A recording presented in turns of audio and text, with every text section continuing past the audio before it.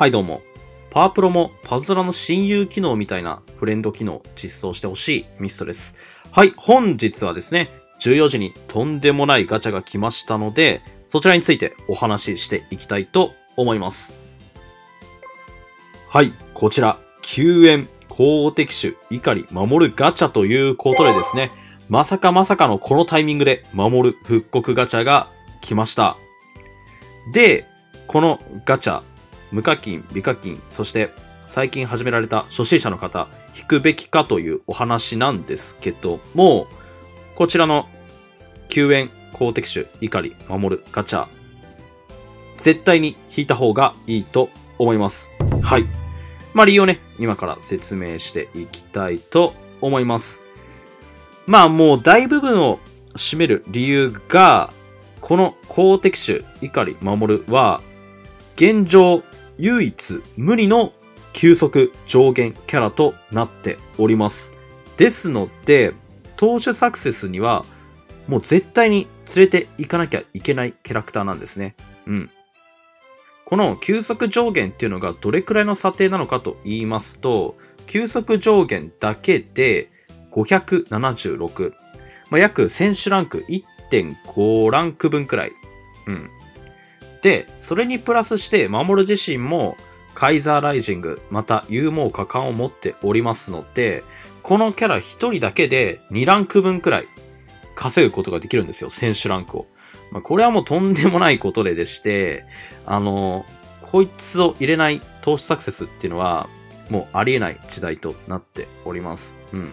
まあ、ですので、まあ、皆さんもね、フレンドでまあ、俺お持ちなかった時は絶対に借りてたと思うんですけども、まあ、このガチャを引けば確実に SR 母体は手に入るということでですね、まあ、これは絶対に引いた方がいいと思います。うん。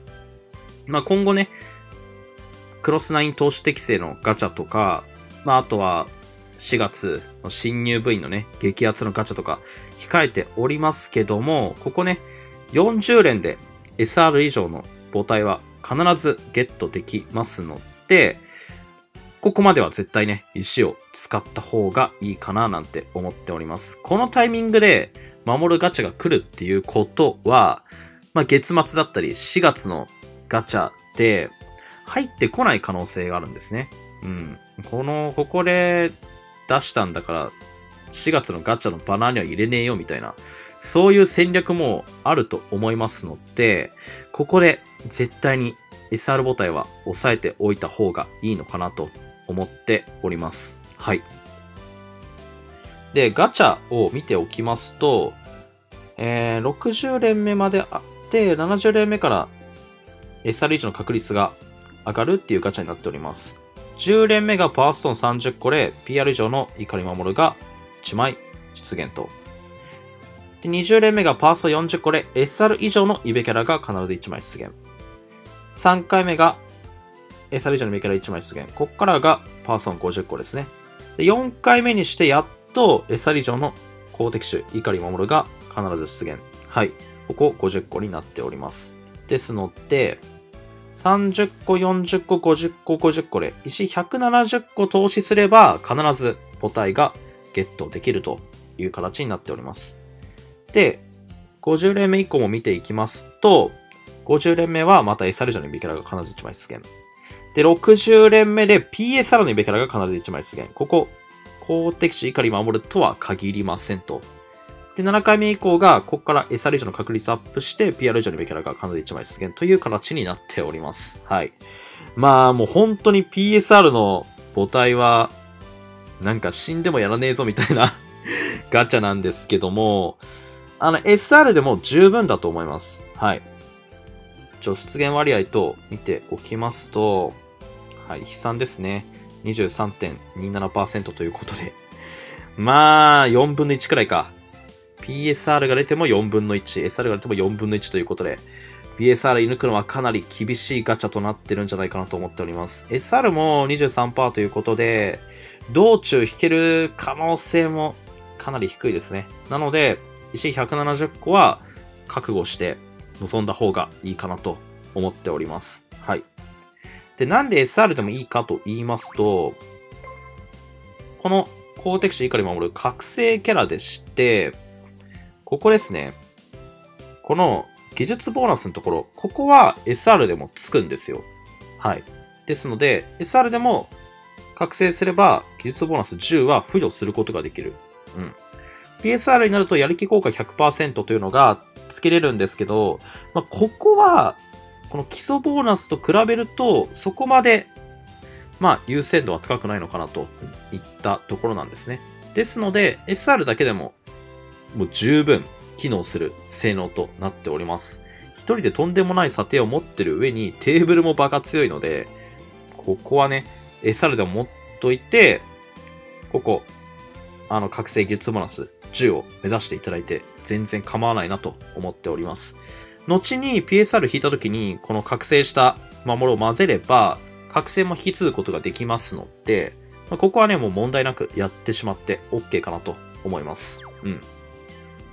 あの、通常の守る、そして、暁の怒り守るでも解放できますので、はい。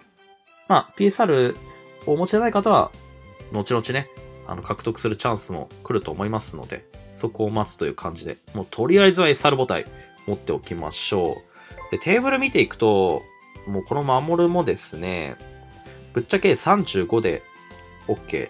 まあ、もっと言えば、40までいけたら、まあ、最高かなっていう感じですね。42と45がコツイベントボーナスということで、コツイベントの獲得経験点なんですね。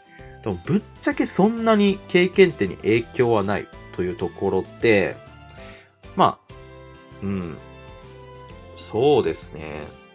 まあ、40、解放するなら40を目指してもらって、で、覚醒のね、技術ボーナス10を目指していただければいいのかなと思っております。まこの50でね、急に基礎ボーナスぶっ壊れるテーブルっていうのは、本当に無課金、美課金の方からしたらきついと思いますので、もう全然40で OK なのかなと思っておりますと。はい。だ PSR を射抜けたらまあ最高なんですけども、まあ、それはなかなか難しいと思いますので、SR の41を目指してもらって、技術ボーナスをつけてあげましょう。はい。っていう感じですね。はい。いやー、このタイミングで来るとは思わなかったね。甲子園の開幕と合わせて、なんかそれに関連したガチが来ると思ってたんですけども、まさかの怒り守るということでですね、あの、困惑してる方多いと思うんですけども、ここは絶対にね、石170個投資する価値が全然あるかなと思っております。はい。ただ、注意点といたしまして、あの、深追いは現金ですね。うん。あの、40連で、きっぱりとやめた方がいいかなと思います。あの、さっきのか、先ほど確率も見ましたけども、23%なんですよ。SR の、SR 以上の、この守るが出る確率が。ですので、あの、まそこそこ課金されてる方とか、PSR を追い求めて引いてしまう方とかいらっしゃると思うんですけども、いや、かなり闇だと思いますね。あの、ハゲると思います。なんか、実装当時もこんな感じだったと思うんですよね。もう本当に PSR を引かせる気ないだろうっていう感じ。まあ、それほどね、ぶっ壊れて強いキャラですので、まあ、ともあれ、SR 母体は必ず持っておかないと、うん、今後、パワープロライフに支障が出るレベルのガチなのかなと思っております。まあ一応ね、前の動画でも話しましたけども、浅上京介だったり、大原学人だったりね、まあクロスちゃんだったり、あのー、なんだっけ、十文字東キャラ、クロスナインキャラもこのガチャから出ますので、はい、もしかしたら SR 以上のところでね、引けるかもしれないというところでも、かなり旨味があるのかなと思っております。はい。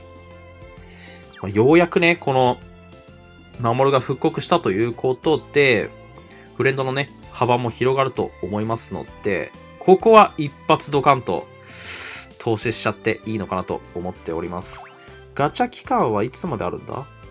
ああ、一週間しかないですね。一週間しかないので、まあ、これ、ここまでに、しっかりと、うーん、で、170個って相当数な石ですからね。集めるのも大変だと思うんですけども、しっかりと、ここはね、40連抑えた方がいいかなと思っております。はい。逆に言えば、これが来たことによって、このクロスナインガチャはスルーすることもできますし、うん。葵ちゃんとか、まあ、この辺のガチャはスルーでいいかなと思っております。引いてなかった方は。はい。ここゲットできれば、まあ、投手育成なら、朝神借りれ、朝神とかクロスちゃん借りれますし、野手育成だったら、これね、名前忘れちゃった。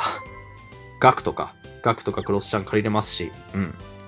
とにかくこの人権キャラの公的地怒り丸は結論からもう一度言わせていただきますと、絶対に引きましょうというお話でした。はい。っていう感じでね、今回の動画は終わりたいと思います。ぜひね、チャンネル登録と高評価のほどお願いいたします。はい。ちょっと飛行機もうるさいので失礼します。See you!